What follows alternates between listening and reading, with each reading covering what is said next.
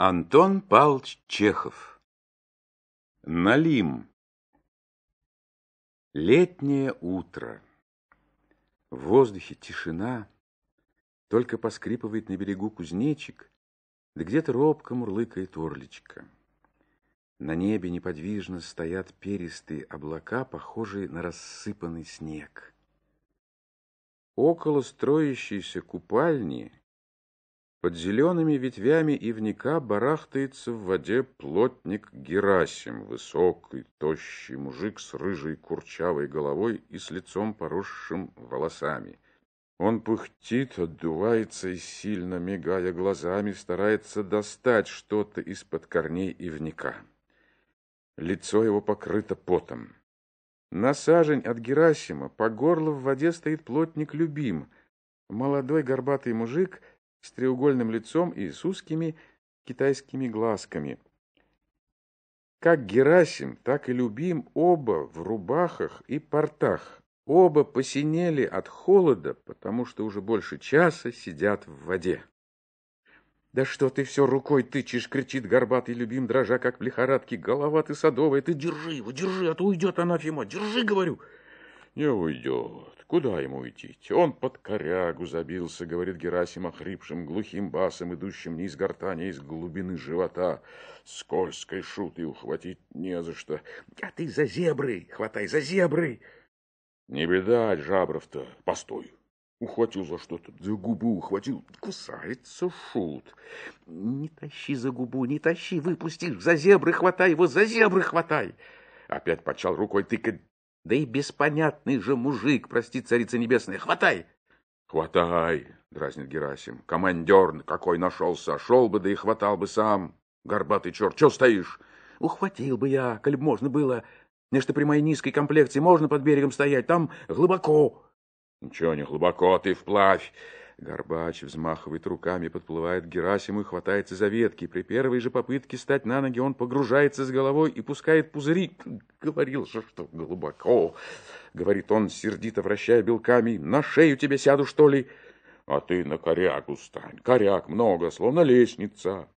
Горбач нащупывает пяткой корягу и, крепко ухватившись сразу за несколько веток, становится на нее. Совладавший с равновесием и укрепившись на новой позиции, он изгибается и, стараясь не набрать в рот воды, начинает правой рукой шарить между корягами.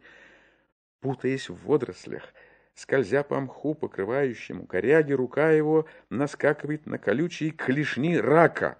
«Тебя еще тут черта не видали», — говорит любимый, со злобой выбрасывает на берег рака — Наконец рука его нащупывает руку Герасима и, спускаясь по ней, доходит до чего-то склизкого, холодного. «Вот он!» — улыбается любим. «Здоровый шут! Оттопырь-ка пальцы, я его сейчас за зебры! Постой, не толкай локтем, я его сейчас, сейчас, дай только взяться!» Далече шут под корягу забился, не за что и ухватиться. Не доберешься до головы, пузо одно только и слыхать. Убей мне на шее комара, жжет. А сейчас под зебры его. Заходи сбоку. Пхай его, пхай. Шпыняй его пальцем. Горбач, надув щеки, притаив дыхание, вытаращивает глаза и, по-видимому, уже залезает пальцами под зебры, но тут ветки, за которые цепляется его левая рука, обрываются, и он, потеряв равновесие, бултых в воду. Словно испуганные, бегут от берега волнистые круги, и на месте падения Вскакивают пузыри. Горбач выплывает и, фыркая, хватается за ветки. «Утонешь еще, черт, отвечать за тебя придется!» — хрипит Герасим. «Вылазь, ну тебя к лешему, я сам вытащу!» Начинается ругань. А солнце печет и печет, тени становятся короче и уходят в самих себя, как рога улитки.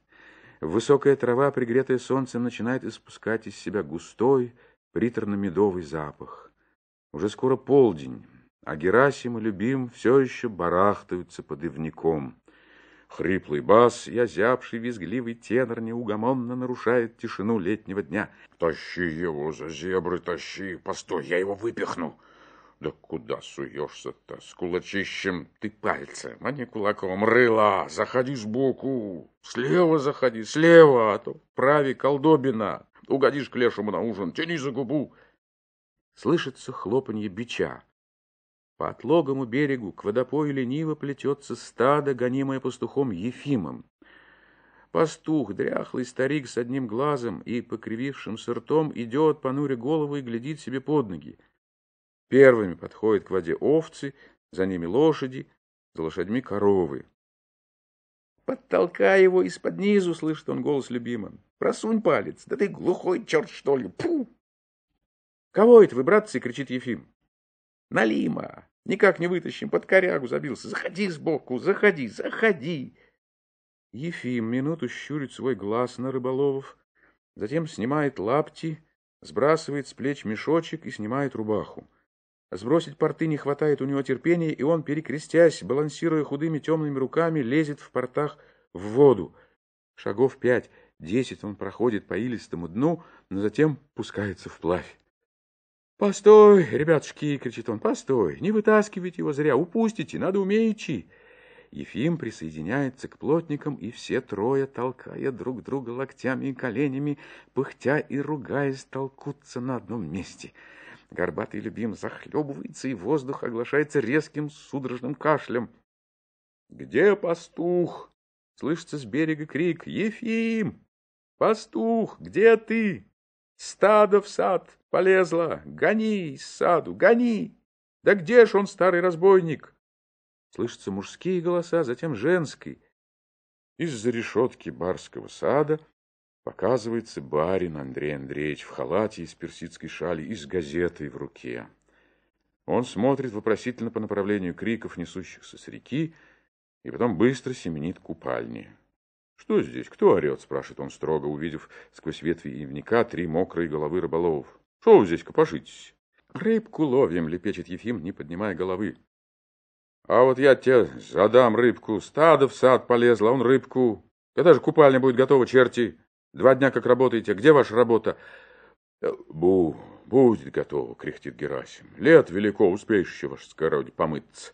Пфф, никак, вот тут с налимом не управимся. Забрался под корягу, словно в норе, ни туда, ни сюда.